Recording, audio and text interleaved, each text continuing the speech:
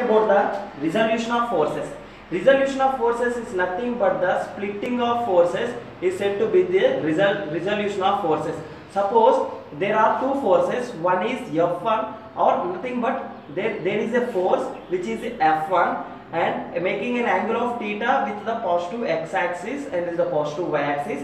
F1 is making an angle of theta with x axis by splitting this force whatever the effect produced by this F1 by replacing this force by two forces will also produce the same effect produced by this F1 along the theta we produce the F1 cos theta the effect to produce F1 cos theta and in this direction F1 sin theta. This is F1 cos theta and this is F1 sin theta. This is F1 cos theta and this is F1 sin theta. And we can also say that here f1 cos theta and f1 sin theta. Theta equal to tan inverse of theta equal to tan inverse of sigma fy by sigma fx. Sigma fx is sum of the forces in the y direction in the y direction and sum of the forces here sigma fx is the sum of the forces in the x direction and theta is the angle of inclination to find the resultant component we can say that sum of the forces fx square plus sigma fy square. This is nothing but the opposite to the